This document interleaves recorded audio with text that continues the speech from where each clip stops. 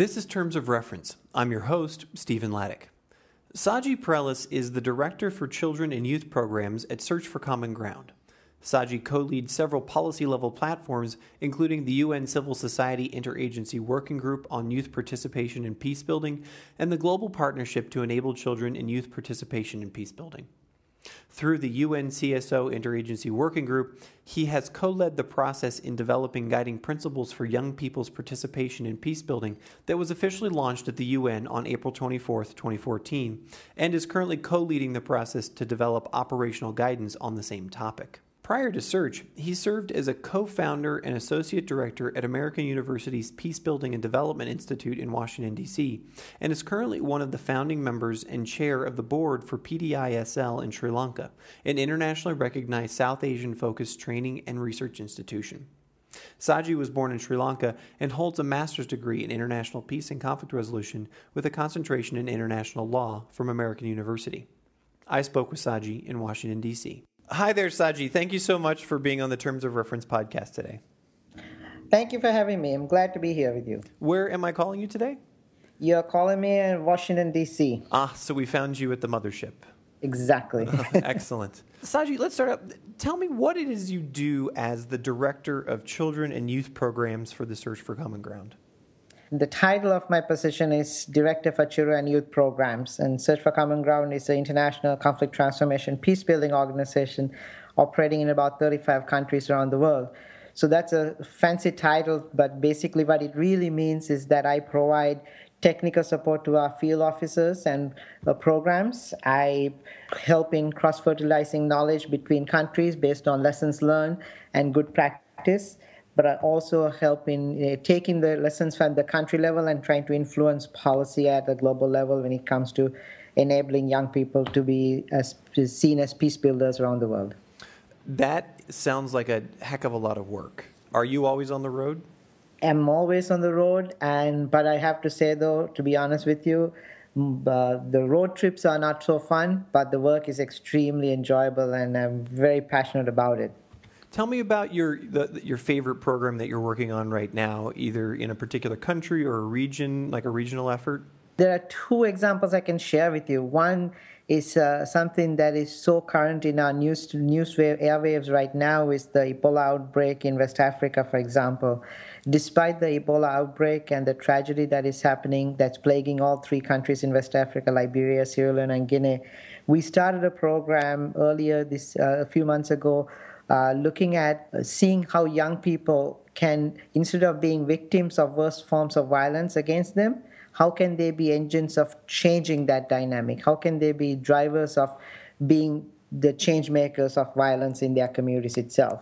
So it's flipping seeing them as victims to seeing them as positive agents in addressing it. Is uh, there a particular you know, like the one story that you either you know use or that you just recently learned about of oh wow this this youth had this idea, wow what a change. Is there is there a particular story you can think of off the top of your head? I mean, uh, there are lots of different stories. The main thing I can see is uh, how, despite the enormous challenges people are facing, uh, young people are experiencing in this context, the Ebola outbreak, they are saying that they want to continue to work on these programs. They want to continue to engage because they want to be seen as partners, as, and as leaders in their communities, and they're not shying away from challenges and risks and conflicts and they actually wanted to actually engage in these ways. So and, so what would what would search provide to these youth as support or as direction or as resource in order to help them engage, be leaders and take action for change? Search provides a number of different things. One is at the capacity level, training level, skill level. We, are, we provide them with skills and capacities to see themselves as leaders, not just among their peers, but at, at a societal level. And then we try to use radio as a tool to actually articulate that voice or amplify that voice across the country so more and more young people see that there are young people as champions for them. That's one level. The other level is taking those voices and influencing policy, working with UN agencies and others to really convince them that there are more and more young people who are actually not picking up guns, but actually choosing nonviolent means of transforming and addressing issues that they that are plaguing society in these countries. Because oftentimes we tend to focus on the troublemakers, the few people who cause trouble, at the cost of leaving all the, the many more who actually choose not to commit violence. So, what we show is the other side of it. So, we uh, focus on those who, many more who actually choose not to commit violence and actually show that that's more of a leader than actually the few people who actually cause trouble. Does that make sense? That makes that makes perfect sense.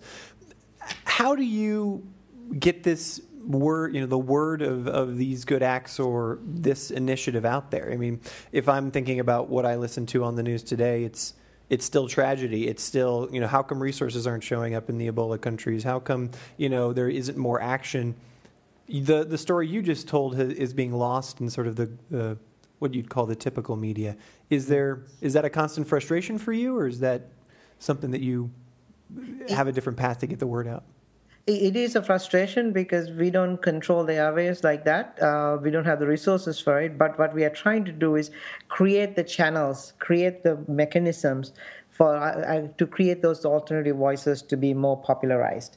And we are we are entering in a, into a society where these types of alternative voices are needed and actually are considered to be a breath of fresh air.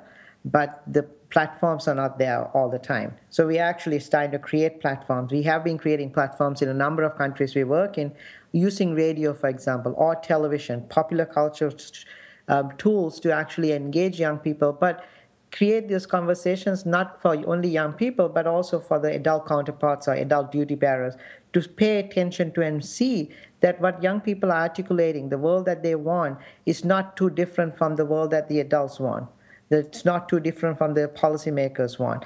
It's about building that trust on a longer term basis, and that takes some time to actually enable those conversations to ripen. Uh, in, in, in Sierra Leone and Liberia and Guinea right now, these are young people figuring out what needs to be done at the country level to address violence and then engaging their peers, engaging their policymakers, ministers, and other duty bearers to say, here's what our role is. How can we then work together to address this? So that's the next step that, that in a lot of places we are doing. How did you find yourself as the director uh, of children youth programs at Search for Common Ground?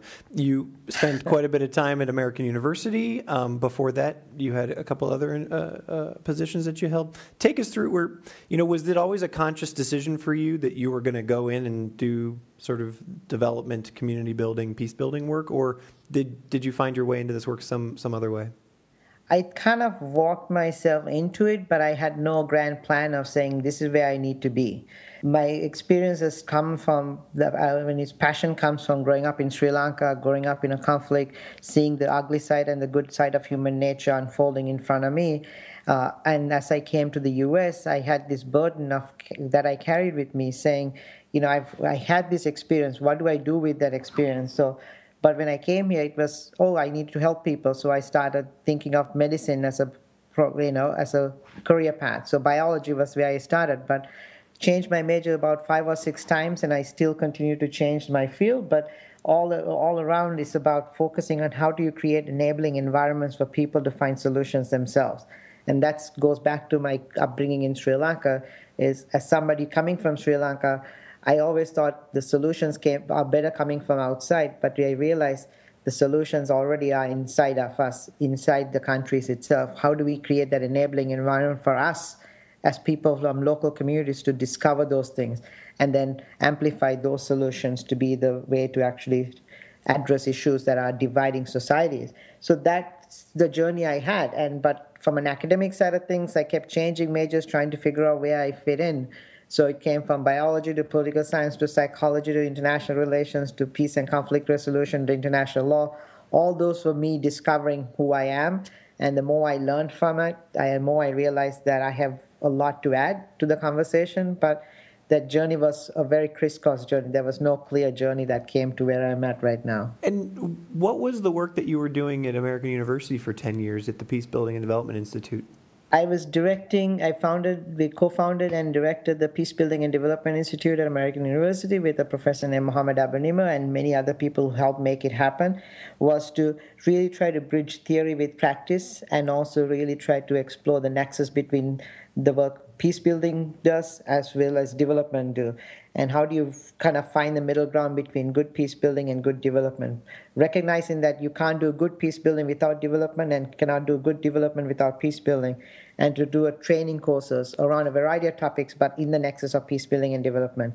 So we organized these trainings and brought people from an average of 25 countries around the world put them in touch, put them in the same room as master's degree graduate students taking these courses and enable them to build the skills that they need to actually become more responsible and active practitioners in the countries they're working in. Do you think that the formative experience you had in Sri Lanka during the Civil War was has that something that you carry with you every day and has that been a critical factor in your ability to communicate and make the situations real. At, uh, you know, for when when you're working in, in uh, Search for Common Ground, where you're working at American University. Where I'm going with this question is, mm-hmm.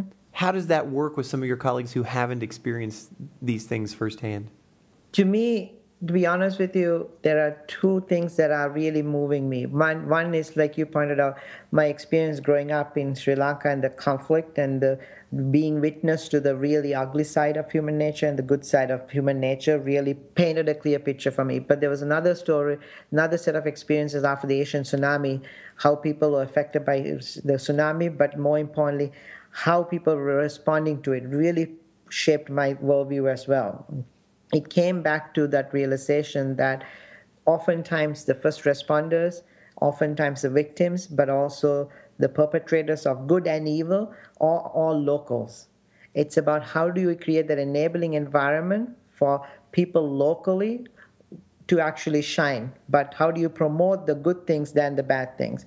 So that was my operational um, compass, so to say, in the work I was doing. But as I came here and I learned and engaged with lots of people here, what I noticed is that a lot of people in this country come with fantastic ideas, with very good intentions, but sometimes don't forget that, but they forget that they're outsiders coming in. And oftentimes it's about tell me, tell me more about that. What do you you mean? The, the consultants coming in, or so, what I mean by that is consultants or experts from outside coming in to countries that are affected by conflicts or natural disasters and coming with very good intentions to help. But oftentimes, when they come in with those good intentions, that they miss a lot of vibrancy and the strength and the resilience and the capacity that already exists. Mm-hmm. And that actually sometimes ends up doing more harm than good. So I think we have to remember, as responsible practitioners with very good intentions, that when we enter countries or work with partners in countries that it's our, our job to actually bring out that goodness that people already have, bring out the strength and the resilience people already have, and, and support that more so than trying to bring in outside solutions. I'm not saying that outside solutions are, are not good. I'm saying that there are a lot of in, uh, indigenous solutions that sometimes are neglected at the cost of foreign outside solutions because we are not investing enough into that through the local solutions. So those are short-lived because they are project-based in some sense. Is there a particular story you could share with us, or a moment of one of those neglected situations where you know you saw it happening and said, "Oh, you know, if only you know we would have gone this other path and listened." rather than you know taking this standard path or, or this this outside path is there a particular story you can think of I, I can, and it may be controversial right now, but I'm, I'm not afraid to share this. Uh, going back to the tsunami in Sri Lanka, uh, the first responders were young, local people, young people coming to help, bringing food, helping with triages, helping with rescue efforts and stuff like that, and search and rescue efforts. And what people were doing was volunteering their time. And for several weeks, that was the case. But when the international communities came in to actually help in the response efforts, what they did was they saw all these people doing work. What they did was equate time with money and created a cash for work program. Mm.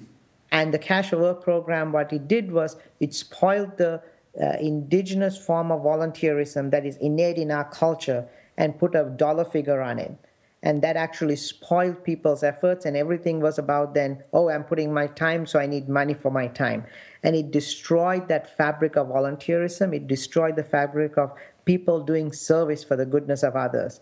And and that that that was the, one of the poignant moments of my life to realize that it is a missed opportunity by the international community to see how they can enable local civil society, enable local communities to actually do better by supporting those efforts instead of coming with their predetermined uh, project frameworks and putting it in and saying we are doing a cash for work program.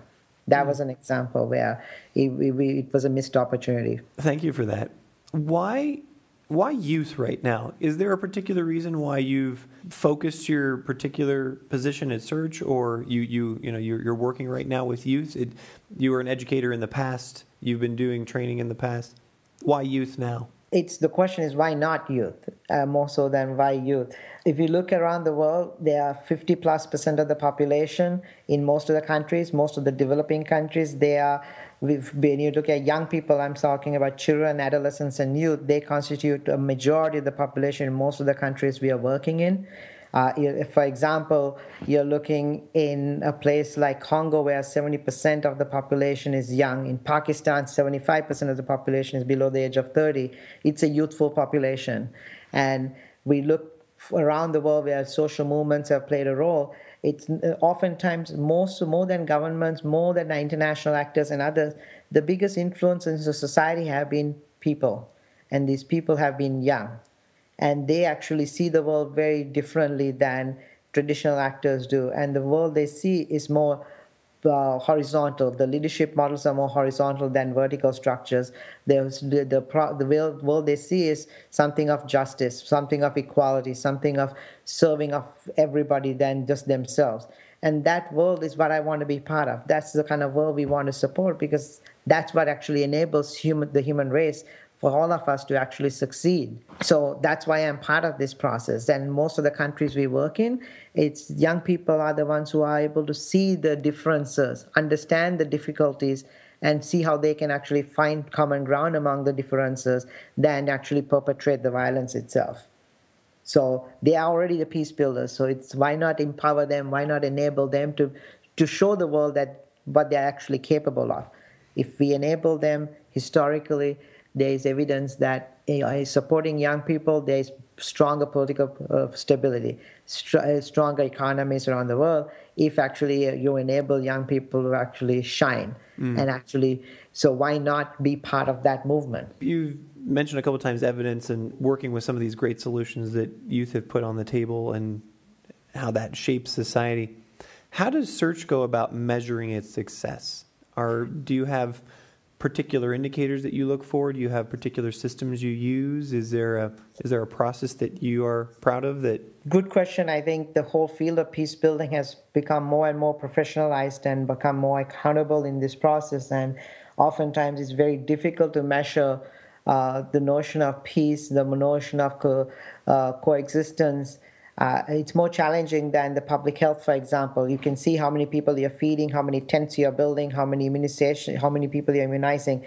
That's a quantifiable indicator that is much easier to do. It's very difficult to see to measure the degrees of trust people have among communities that have been torn apart by violence. Um, so for us, we approach this by understanding uh, the, the reach we have in our programs, the resonance it's having in our populations, and the response people are building based on that reach and response uh, uh, resonance it's having. So we measure, to, for example, that way. We measure by looking at uh, the degree of uh, uh, understanding people have about the div- divisions that they see, and you know try to. And while we don't have the perfect solution yet, and as a field, we are still maturing. We're still learning how to do this even, even do it better. From a youth perspective, I think one of the things that we've been really kind of pushing for is how can we be, become more youth led uh, but technical advised approaches to be to, to flourish? How can you design youth led approaches to flourish? And in that context how can young people become part of the design? How can young people be part of the management process? How can young people become part of the evaluation process uh, that can actually lend itself to giving new information that a traditional approach like a survey tool or a, or a focus group cannot discover. So we've been digging into and creating new methodologies around this that a lot of other people are also uh, testing out as well. Take me through a typical day for you if there is one? There's no typical day. Uh, I'm sure some... you don't give interviews to uh, podcasts every day. So what's it?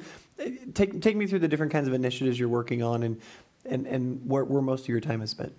So most of my time, like let's take last week for example. This you know the day started with a staff meeting with a couple of meetings with uh, my colleagues from the Congo, where we are working on a disruptive innovation summit on youth violence prevention and then led to uh, a meeting around creating a, a social movement around how young people can be engines of change and how can we create a whole global movement around it to get people to feel like they belong to some they belong to something greater than themselves and they're part of shaping something greater than themselves.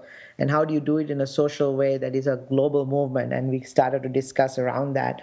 Um, so that was another you know a couple of meetings around this and that led to uh, a conversation with my colleagues from pakistan and in timor leste uh, around one is around youth violence prevention in Pakistan, in Kakash, uh, Islamabad area and actually and Karachi area, and in Timor Leste, working with gang members. How do you actually get gang members to be part of society and enable them to become social actors, contributing to their communities? So it was that was a typical day and a half of work and driving some of these initiatives forward. So plus addressing 200 plus emails you get a day, and that's a full time job.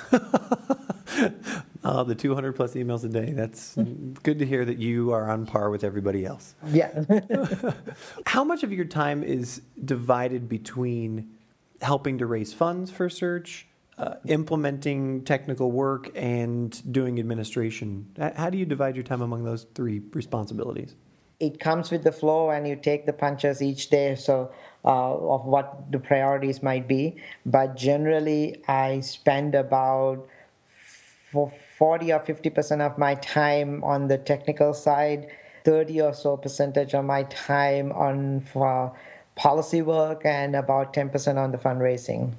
Have you noticed that fundraising has become more difficult, or how is Search uh, approaching fundraising in, a, in, in, any unique way that um, has helped you to sidestep some of the donor constraints that are happening these days? By the challenges, Search has actually been successful in raising money in a number of countries and work and supporting some a lot of our programs. So. Uh, for us, because of the work we are doing, it has actually it, this work speaks for itself at the country level, and I think one of the main reasons for that is because the work we do is really in partnership with a lot of local organizations, local civil society organizations, youth organizations, and others. So it's about promoting them, enabling them to be the actors, so to say, or the engines that are driving change in a good way. So a lot of donors are also shifting in that direction, and we've been, you know, really leading in that process. So for us, it has been not a whole huge challenge. But said that, I mean, globally, you know, the giving habits of donors are changing, and the amounts of monies are also changing. Uh, and as international actors, we need to be uh, attuned to those things. So far, we have not been totally hurt by it, to be honest with you. But the fundraising landscape is, for us, for me personally, is, uh, is a challenge because it's about how do you support local efforts versus how do you pro- promote and support global efforts and or policy efforts. So balancing that act at the fundraising level is not often easy because the instinct is to actually always support local efforts. But there's a need to actually also support global efforts at the policy level that create that enabling environment at a policy level for young people also. So it's that balancing act that is not often easy to determine, but it's based on country and context and priority each day. Yeah. Are there any unique fundraising approaches that Search is using, such as uh, sort of social enterprise type things, or other than going and seeking yeah, traditional seeking donor funds or seeking, you know, essentially writing proposals on tenders? Sure, I think uh, I think generally that's our bread and butter. We actually writing proposals at the country level or regional level and getting funding. Another approach is actually solicited proposals where donors come to us and say, "We are interested in this effort. Can you work with us on something?" The other is actually working in partnership with donors to co-create things together. That's been rather successful uh, in a couple of our MENA, Middle East, and North Africa countries where we've done some of this work, working in partnership, creating these part, uh, relationships to do things together and initiatives. And the other is this on this more social side of things, you know, creating these innovation uh, hubs, so to say. And one of them is in, in the process. We are doing it in Pakistan, Nigeria, and in the Congo looking at uh, disruptive innovations on engaging young people as peace builders and how can young people become agents for stopping violence or uh, mitigating violence in communities and trying to find innovative solutions disruptive solutions to it. So that actually creates another approach of bringing partners on board to find solutions that are completely never been discovered before or taking something and you know changing it so much that it's a new it's a, it's a new approach in itself and that's some things we are testing out. We just did that in nigeria. We brought musicians and social media influencers and governors and security people and others together to talk to each other about what can be done in the streets of lagos and came coming up with new solutions around that. So it's about bringing uncanny partners together to do that and that's something that we are you know, really trying to test out even more on. Mm-hmm. you've had something of a very successful career, and you are, you know, you've reached what many people would consider to be a pinnacle, you know, a director level at a, a, fairly prestigious organization. What's the next five years look like for you? Next five years is an interesting question because. Uh, I honestly don't know where I will be in five years, but the next five years, I can get, I can guarantee that I will be actually very involved with shaping and influencing the international youth policy and youth and peace building policy frameworks. Imagine a world where we have a Security Council resolution on youth in conflict situations, influenced by the Women, Peace, and Security architecture, that actually creates a policy framework that donors, governments, and others can understand how better to invest in its youthful populations better. Imagine a world where. Tell me about so. I, help me imagine that world. What what would that change? What give me? Uh, can you give me a concrete example of how having that guidance and having that policy framework would change the investment structure so, in youth? So, so a policy framework that recognizes the the uh, uh, critical role young people, young men and women play in peace and security work.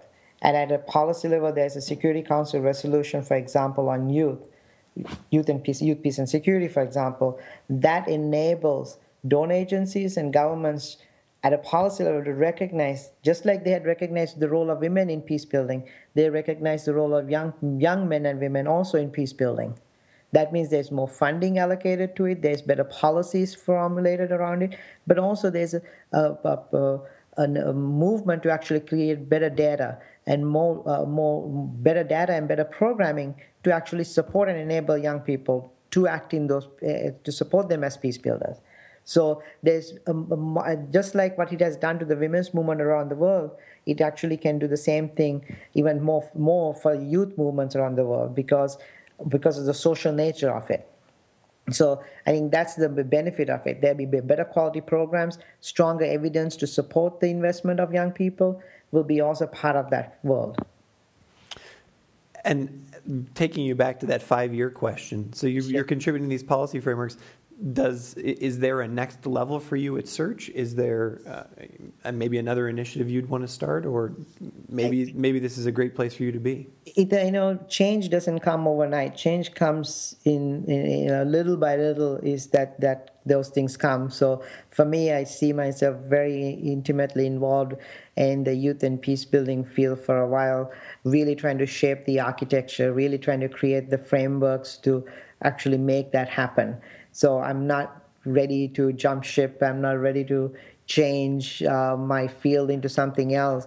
But I think uh, these these things need the institutionalized. These need these efforts need to be institutionalized, and that institutionalization process takes time. So uh, it, it, you need to be able to be patient and really pushing these things in a very patient way. So for the next five years, that that's where my path is is really trying to create the instruments, the architecture, the the and the frameworks for actually really creating that enabling environment for policymakers, stakeholders to see young people as partners in nation building or peace processes. Over those five years and over the last, you know, 15 or 20 years you've been working, uh, what has been your biggest frustration about being a development professional? Is it the travel? Is it the pay? Is it politics? Is there too much work? You know, uh, one of the times when you, you know, sometimes you want to just wring your hands and say, I'm, I'm done. I'm going to work in the private sector. Like, when, when does that happen? Hmm. Or, maybe, or has it ever happened? It had, I haven't really seen it that way. That's why I'm struggling to answer that question. There are many frustration points. I think uh, sometimes I feel like there's too much money in this field, but it's not enough money going in the right place.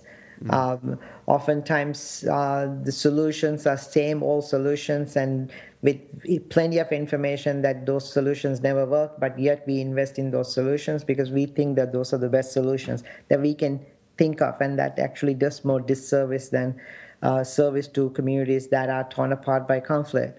Uh, so my frustration is that we are not innovating enough. We are not challenging each other to learn from past practices. We keep seeing, you know, lessons learned, but it's uh, but we more better question to ask is lessons unlearned in this process because we keep learning the same lessons, but we are not absorbing and institutionalizing those lessons into our practice. Uh, we also know that better collaboration and coordination actually helps in the humanitarian and peace building field, but yet we struggle to collaborate and coordinate because it's a comparative model that we have, we are living in, where we compete for money, very limited money, and then we actually do our own work without promoting everybody else's work. I think that though that's the that's the frustration, but it also the inspiration is the flip side of that, where when you work with young people, they don't really, this is what I said, young people's leadership model is more horizontal, not vertical. Traditionally, adults seem to see leadership model in a very vertical kind of way. Young people see the world and the leadership model they uh, see is a more horizontal one where everyone has an equal say in things.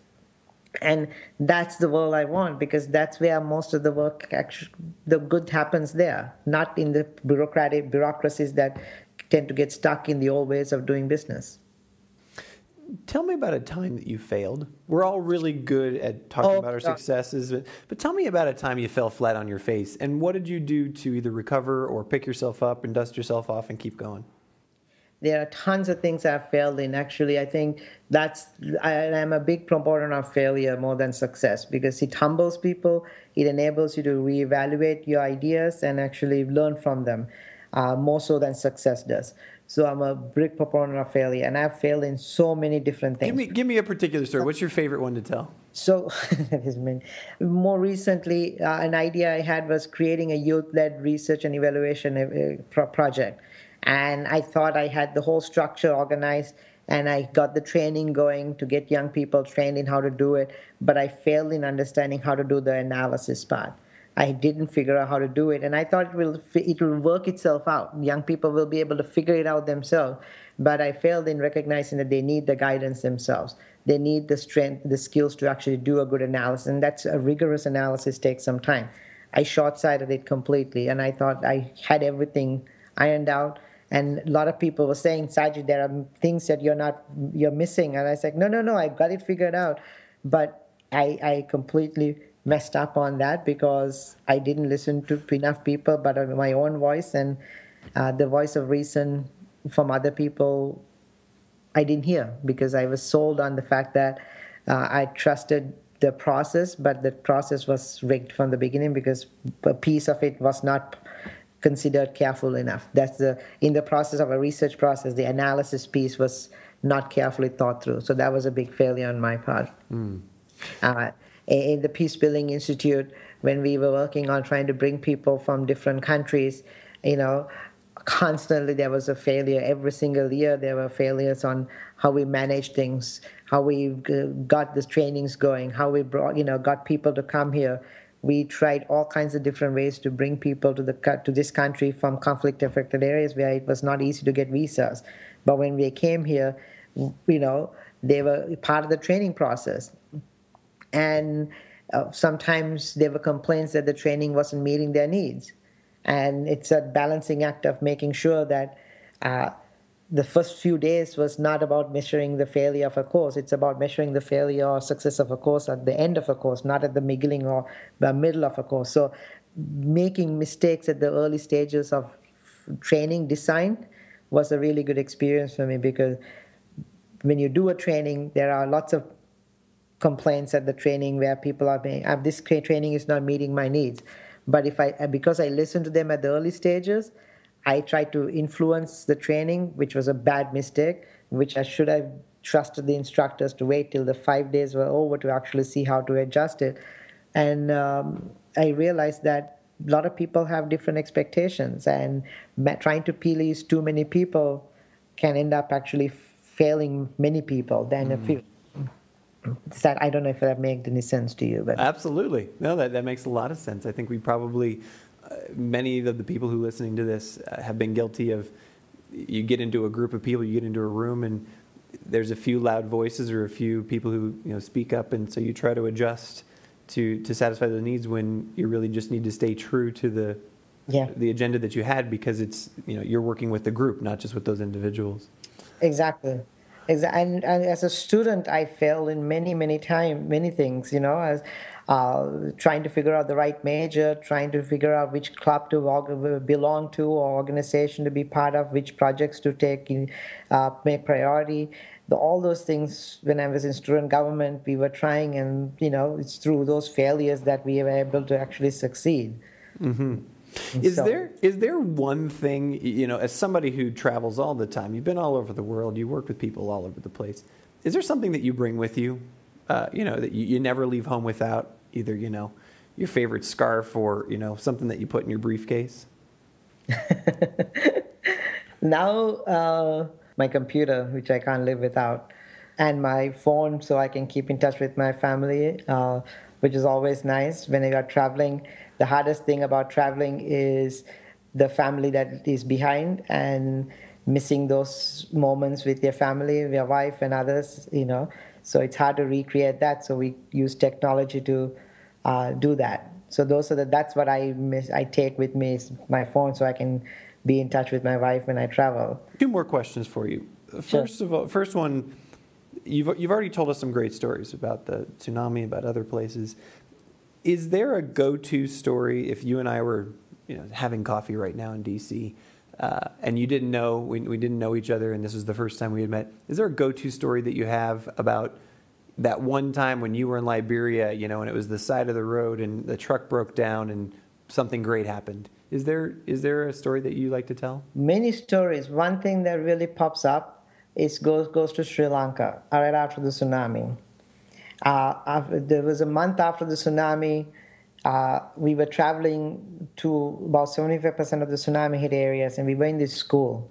It was in the afternoon, and we ended up talking to this young boy named Pathum. He was about 12 years of age, and he describes in vivid detail how he witnessed his mother getting slammed by the wave and dying how he saw his father buried, you know, buried alive in the water, and his grandmother also in the same kind of way dying. And he witnessed those things. And he had two months later, he was wearing blue shorts and a white shirt, black socks and black shoes, combed hair sideways, side parted, and sitting in a classroom. And here he's talking with me. And I think about that example and look at Katrina, and two months later, how many people were in school? Not many. So here in Sri Lanka, he's already in school, despite the tragedy, despite the loss he has experienced. And when I, after all that details of him describing the loss, I ask him at the end, and I'm in tears while I'm talking to him uh, because I'm sad of how what he has experienced. I ask him, "What, Pathum? What is it that you want?" And he looks at me and says, "I want to stay in school. I know my parents are not alive, but I want to make them proud because if they were alive, they would be proud if I was in school." I want to do good in I know I want to do good by them. And that made me tear up even more. So I said, well, my first thing is how can I help you? What do you need? And what he tells me was, what I need is my sister who is studying for her O-level exam, a British O-level exam. I need for her, she lost all her study notes. I would love if you can help get her get study notes for her so she can sit for her exam and finish up. Here's a 14 year old boy. When you ask him what he wants, he wants to stay in school. When you want, ask him what he needs, what he needs is for his sister to study, not for him. The selfless nature of that uh, example really left a lasting legacy for me. Pathum's selflessness. of we, we, despite the loss, despite the tragedy, despite the devastation that surrounded him, what he wants is somebody else to benefit from whatever I could have done at that moment. You know, that speaks volumes of so many young people that I've met in other places also, whether it's in Nepal or Liberia or Congo. It's a similar, there's a similar story that young people have. It's a story of resilience, a story of rising from the ashes, of wanting to see how the world that they want is a place that is better for them and people around them. And that is what gives me hope. And that's what gives me the keeps me passionate and committed to do this kind of work. Final question is one that we ask everyone who is a guest here on terms of reference, and that is, uh, you know, you've created success as a development professional for yourself. There are many, many people who either are completing a master's degree right now or want to transition from a different sector into development work. What's the, the, the or, or some of the critical advice that you would give to them about what they should do to be successful or what they should look at to, to get that first job or to help in their career? For students, I, uh, a, this is a question that I, I mean, this is a conversation I have with many students still, uh, even though I've been out of school for a while now, is that their job search starts the job that start when they start their say for example master's degree it's a two-year program. Their job search starts on day one. They start their master's degree program for example. Because if whether it's in dc or elsewhere it, they need to have a strong network of people they know. And, and, and partners they work with or help support. So knowing people really helps. Knowing people alone is not enough. Having good experiences working in different place countries also helps. Having language experiences helps but more importantly also what is useful is being a good writer. What i've seen is it's very difficult to find really good writers these days. Having writing skills is a fantastic skill. Part of this is creating a brand around yourself right? It's more difficult to get jobs these days in a competitive work environment. There's more people applying for jobs than the jobs that are available. So, how do you stand out from the crowd? So, you create a brand that makes your CV more memorable. So, it doesn't become the same CV as 200 other people's CVs. You need to stand out from the crowd, and we have to. Be, people have to do a much harder job in actually making that happen. So online, whether it's on LinkedIn or on others, really creating a profile that is it's full and complete and then a CV that doesn't look the same as 200 other CVs is also very, very important. So that's what when we look at CVs, what we remember, it stands out. That helps us because it's a way of you communicating your skills and your capacities uh, in a way that's, you know, is different. And the other thing is, don't take the traditional paths of you know bachelors and masters and PhD to get a job world. The job world is very changing so rapidly that the same equation that worked two years ago or five years ago is not the same today. People are being more entrepreneurial. So those uh, walking those new paths, taking risks and doing things differently against the grain, I think paints that picture even better for you and the story you can tell from that makes you more of a appealing candidate for jobs and consultancies and stuff um, so and then in the in the in just kind of continuing that trend i think is uh, the the notion of brand. I think uh, the brand, your profile, is something you need to carefully think about and shape because there's more people competing for jobs. So that brand has to be really well thought through and what your expertise is and promote that brand in a way that actually